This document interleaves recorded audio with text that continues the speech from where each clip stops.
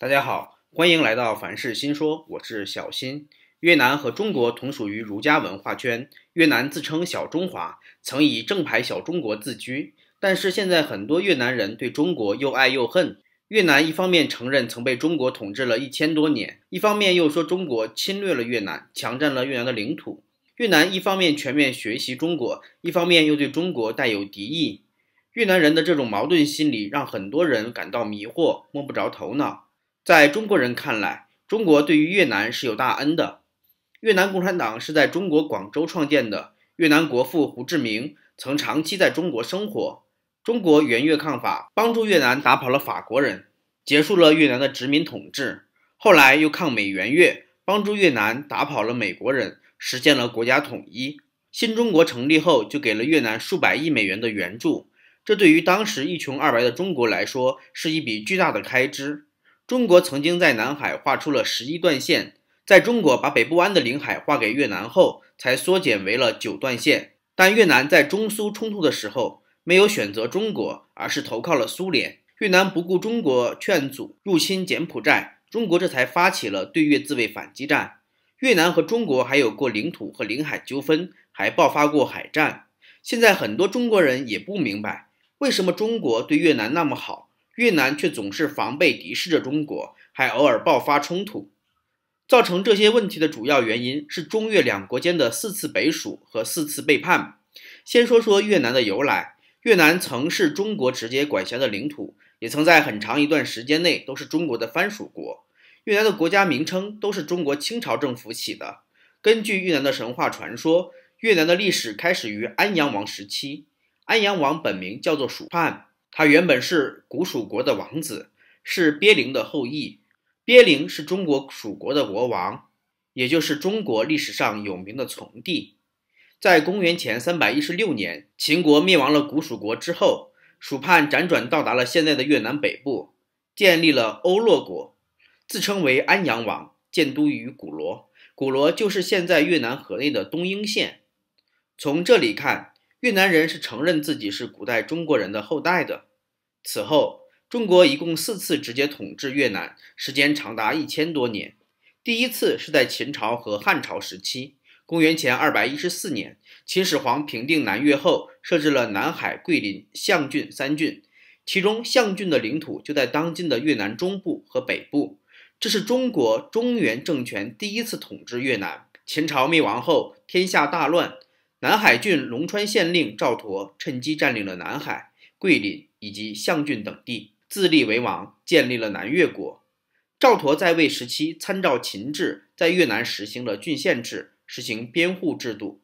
那时候，很多中原人到了越南，赵佗鼓励中原人和越人进行通婚和融合。现在，很多越南人都有中原人的血统。南越国建国以后，就独立于中国了。直到公元前一百一十一年，当时西汉攻灭南越国后，在南越设立了胶州。胶州是当时汉朝十三个州之一。胶州一共有九个郡县，分别为南海郡、合浦郡、苍梧郡、玉林郡、朱崖郡、詹耳郡、交趾郡、九州郡、日南郡。汉朝在直接统治越南的时候，也实行了同化政策，鼓励越人和汉人通婚，在越南强制征税。不过呢，在公元四十年。也就是在汉武帝时期，交趾郡爆发了征氏姐妹起义，他们自立为王，想独立于汉朝。汉朝派了伏波将军马援前去征讨，马援带领大军连续作战，在公元四十三年就平定了叛乱，越南又回到了中国的直接管辖。这一段时期在越南被称为第一次北属时期，第二次是东汉和魏晋南北朝时期。中原大乱，虽然中国一直处于混乱状态，但是越南作为中国领土的胶州，一直被中国的中央政权或者地方政权管辖。这个时期在越南被称为第二次北属时期。第三次是隋唐时期。到了公元六百零二年，隋朝大一统，隋文帝派遣大将刘芳平定了越南前李朝李佛子的势力，将现在的越南北部直接置于了中国的统治之下。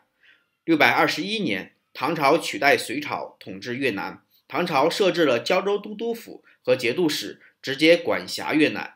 隋唐统治越南的时期，在越南被称为第三次北属时期。第四次的时间跨度有点大，从唐朝末年到明朝末年。唐朝之后的五代十国时期，越南利用中原四分五裂的局面，趁机摆脱了中国的控制，建立了独立的政权。九百八十年，宋太祖赵匡胤派兵讨伐越南，宋军战败，但战胜了宋金的越南向北宋称臣了。一零零九年，越南李朝建国。仿效中国实行中央政治制度，实行科举制度，还大力发展佛教，改革土地和税收制度，制定法典。经过几十年的发展，越南人认为自己国力强盛，可以与中原政权抗衡了。于是，在一零七五年，越南向北宋发动了战争。对于这场战争的结果，中国和越南的史书记载却不一样。中国说自己赢了，因为李朝在大败后向北宋求和了。越南则说自己取得了胜利，消灭了宋朝军队多少多少人。总之就是大家都没输，都赢了。这跟新中国对越自卫反击战一样，两边都说自己没输。不过不可否认的事实是，越南在战后主动求和，寻求了宋朝的册封。宋朝册封其为安南国王，越南从此也被叫做安南。整个宋朝时期呢？中国一直重点防御的是北方游牧民族，没有精力重新征服越南的领土。直到元朝建立，越南的北部一直都是处于独立状态。蒙古兴起以后，忽必烈曾先后三次进攻越南，三次征讨都失败了，但越南也元气大伤。在元朝准备第四次征讨之际，越南人主动求和了，认中国为宗主国，恢复了与中国的宗藩关系。元朝灭亡，明朝建立，中国结束动乱之后，准备再次征讨越南，进行直接管辖。不过，在这个时候，越南国内听到了风声，越南居然认怂了，又主动向中国称臣了。后来，越南发生了内乱，胡继毛控制了朝政，大肆屠杀越南王族。越南的一个王族后代逃到了明朝，向皇帝朱棣求救。明朝派出了使臣前去质问，谁成想胡继毛胆大妄为，他先斩杀了明朝使臣，然后又起兵攻打了明朝。朱棣一生气，就派出了大将军张辅出征越南，一战就平定了越南。明朝随即在越南设置了交趾布政使司，中国又一次直接管辖了越南。后来，越南本地豪强黎利崛起，他趁着明朝对抗蒙古没有精力顾及越南的时机。举兵造反了，明朝被迫撤销了交趾布政使司，承认了黎利建立的黎朝。但黎利建国后，继续向中国称臣纳贡，仍然是中国的藩属国。一五四零年，明朝准备出兵平息越南的内部叛乱。当时越南的篡位者莫登庸听到消息后，自知不敌，就跟几十个大臣一起，自己绑了自己，主动进入了镇南关，向明朝献帝请降。这样，越南又变成了明朝的一个省。中越这个分分合合的时期，就是越南的第四次北属时期。在这个时期的几百年里，越南少部分时间是作为中国的领土被直接管辖的，大部分时间是独立的。但即使独立，越南也是作为中国的藩属国存在的，是承认与中国的宗藩关系的。说到这里，就要说一说什么是宗藩关系了，因为这个宗藩关系。会演出后面越南人认为的第一次背叛。宗藩关系源于中国儒家的五福制度，也就是羁縻州制度。这是古代中国建立的一种华夷国际秩序。说简单点，就是你要想合法统一一个国家，必须经过中国册封，不然你就是非法的。其他人都可以攻打你，但只要你称臣纳贡，认中国为宗主国，中国就会保护你。当你遇到问题时，中国作为大哥就会出面解决，如果遇到战争，中国还会出兵平叛。羁縻州制度对中国来说，就是当中国中央政府强大的时候，就直接管辖；当中央政府衰落弱小的时候，就允许地方自治。明朝灭亡，清朝建立，越南一方面承认清朝是自己的宗主国，一方面南下吞并了高棉国，这使得越南的领土急速扩张。奠定了今天越南的国家版图。一八零二年，经过内斗上位的阮福映建立了阮朝。他后来主动请求清朝册封其为南越国王。嘉庆皇帝觉得南越不妥，因为南越历史上包括了中国现在的广东、广西、福建等地区，册封就改成了越南国王，所以阮朝正式国号就成了越南，这也是当今越南国国名的由来。一八八四年，法国入侵越南，中国为了越南与法国开战。中法战争的结果是中国虽然取得了一些胜利，但却签订了中法新约，这让越南成为了法国殖民地。自此，中国就失去了对越南的影响。越南人则认为这是中国第一次背叛了越南。一九四零年九月，日本出兵占领了越南。一九四一年，胡志明等人在中国广州创办了越南独立同盟会。也就是越盟准备建立越南民主共和国。一九四五年八月，二战结束，中国军队前往越南北部，接受了日本投降。在受降仪式上，中国邀请胡志明担任主席的越南民主共和国代表参加，却坚决将法国代表排除在了受降仪式之外。一九四五年九月二日，胡志明发表了越南独立宣言，宣告越南民主共和国成立。但此时，中国的领导人蒋介石趁着越南权力真空，命令滇越边区总司令卢汉率领二十万大军进入了河内，名义上是接受日本投降，实则是要占领越南。但中国军队存在也把法国军队排除在了北越之外，这也为越共发展争取了时间。一九四六年，蒋介石跟法国做交换，法国归还其在中国境内的租界等财产，而中国则从越南撤兵。交易达成后，中国军队退出了越南，法国在越南北部登陆，法越战争爆发，法国重新控制了越南的各大城市，越共军队则节节败退，最后只能退守丛林，开始了富有越南特色的游击战。越南人认为这是中国第二次背叛了越南。一九四九年十月，新中国成立后，中国开始大力援助越南，越共的形势开始好转。一九五零年一月。中国第一个承认了越南民主共和国，并与其建交。随后，苏联和东欧国家才与越南民主共和国建交。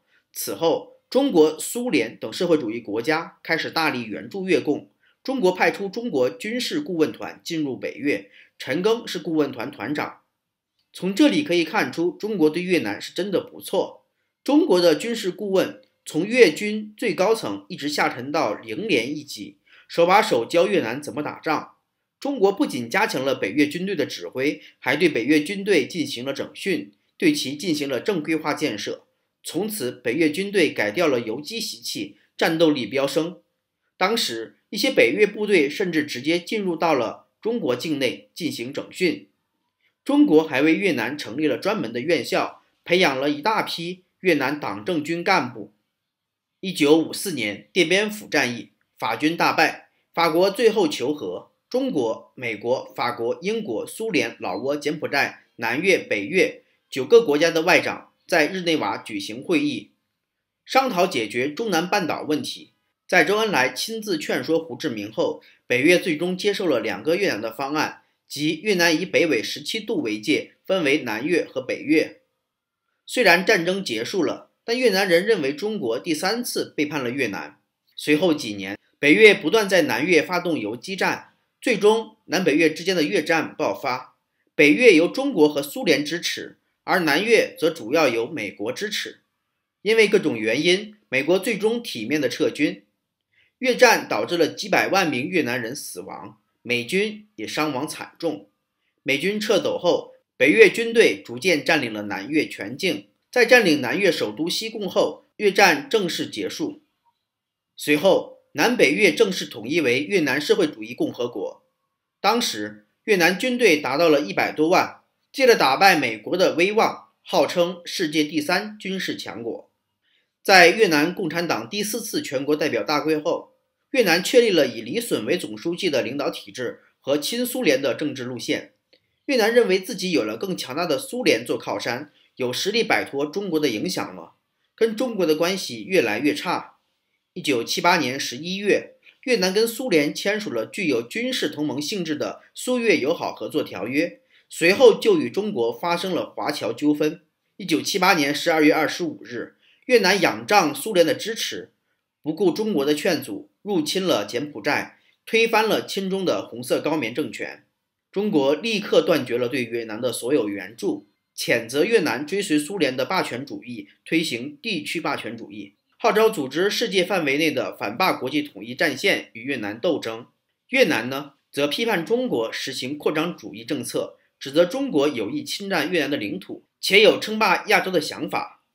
一九七九年二月十七日，中国发动对越自卫反击战。中国军队攻入了越南北部的谅山、高平、老街三个省会，占领了多处有利地势后，又主动撤军回国。但战争并未结束，中越边境冲突此后还持续了十年。中越战争被越南视为背后捅刀子，是中国第四次背叛了越南。中越战争打破了越南世界第三强国的美梦，还把越南北部长期拖入了战争状态，这阻碍了越南的经济发展。在苏联解体后，越南没有能力再与中国对抗，主动求和。至此，越南想彻底摆脱中国千年统治阴影的计划也泡汤了。最近几年，越南跟美国眉来眼去，又跟日本购买军购。一些人担心越南会再次敌视中国，这其实是不需要担心的。越南在跟中国冲突的十几年里，每跟中国发生一次冲突，越南都会吃一次亏。中国一向以德服人，越南的感受最为深切。一九七四年，南越海军与中国海军起了冲突，爆发了西沙海战，结果是中国完全控制了西沙群岛。这场战斗，很多中国人误以为是跟统一后的越南政府打的，其实不是，是跟当时的南越政府打的。一九七九年，越南又和中国在陆地上打了一仗，最终让越南失去了柬埔寨和北部多处要地。一九八八年，越南和中国在南沙群岛爆发了三幺四海战，中国一举实际控制了永暑礁、华阳礁、东门礁、南薰礁、主碧礁及赤瓜礁六个岛礁。前几年，中国和越南的海上冲突基本上都是压着越南打，不管是海警船撞击越南渔船，还是驱逐越南商船，都是中国占上风。越南国内经济是越来越差，中国则是越来越强。越南是认清了形势之后，才拜中国为带头大哥的，全面跟着中国学习。中国令人瞩目的改革开放，为越南的经济发展提供了参照。一九八六年，越共更换领导层后，开始改变其经济政策，学习中国的市场经济和对外开放投资的模式，这就是越南版的改革开放。越南人称其为革新开放。革新开放使得越南从单一的计划经济开放为市场经济。发展了多元化商品经济。此后，越南的经济形势开始好转。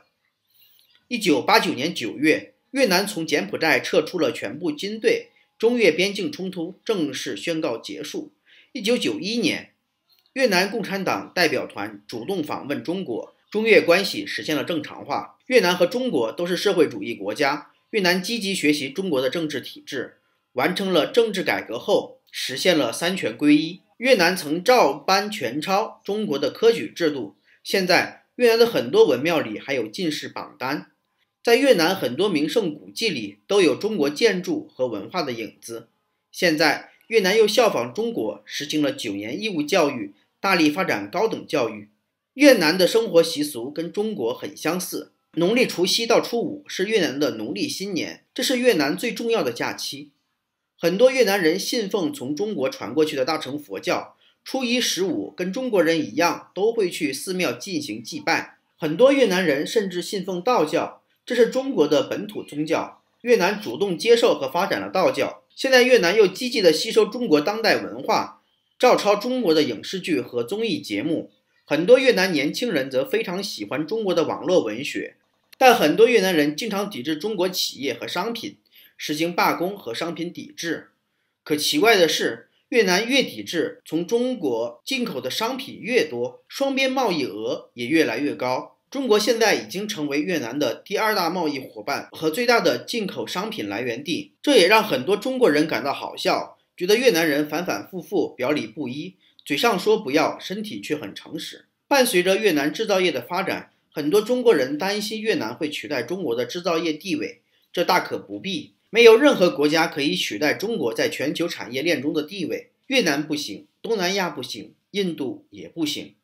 搁置过去，面向未来，是越南处理中越关系最新的指导思想。中越两国通过签订边境条约，已经解决了陆地边界争议问题。关于北部湾海域的争议也基本解决了。目前，中国和越南只是对西沙群岛和南沙群岛的主权有一些分歧，不过这些分歧已经不能影响两国逐渐紧密的关系了。越南纪念中越战争的调门也降低了很多。越南政府严禁民众歪曲、伪造中越历史和中越战争，避免影响越南和中国的友谊。越南领导人已经明确表态，永远不会跟着其他国家反对中国。支持和认可中国关于百年大变局的看法，愿意成为中国命运共同体的一员。命运共同体其实就是中国现代版的华夷国际秩序。总之，越南目前对中国的态度很明确，就是改过自新，坚定抱住中国的大腿。在经济上，两国联系日益密切；在政治上，中国的存在也能为越南遮风避雨，这让越南又回到了一千多年的中华帝国的影响之下。越南人又爱又恨，复杂矛盾的心理也就可以理解了。其实呢，仇视中国的越南人只是少数，绝大多数越南人还是非常希望和中国好好相处、共同发展的。一些越南人开始担心中国会再一次统治越南，我反倒觉得该担心的其实是中国人。等中国更加强大之后，越南主动要求加入中国，想成为中国的一个省，怎么办？毕竟越南人在明朝的时候这么做过。今天就到这里吧，我们下次再见，拜拜。